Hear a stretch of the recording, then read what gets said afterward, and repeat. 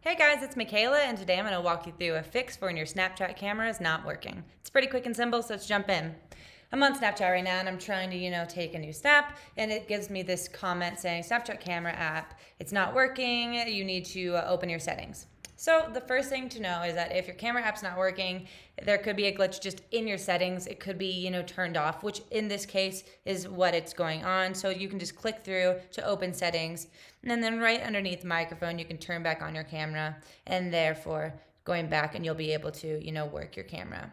But say it's still not working, the other thing you need to do is just reset the app. There could be a glitch in the system, um, a, a, glitch on the back end of Snapchat, and you just need to reset it. So I'm going to walk you through how to do that right now.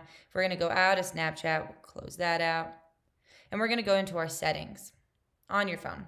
So once you get to settings, we're going to go down to general, iPhone storage, and then we're going to scroll down and we're going to find Snapchat. And what we're going to do is offload the app. Offloading the app doesn't hurt any of your information, your personal information on the app. Reinstall it. All it does is basically, you know, it's like if you deleted the app, went to the app store, re-download the app, and it's just that fresh, clean, you know, Snapchat. Uh, basically, it just restarts it, frees up some storage, and it resets any kind of glitches that are going on. So we'll let that reinstall right now, and then we'll be good to go. All right, the app reinstalled, so now we can go out of this and get back onto our Snapchat and our camera should be working fine.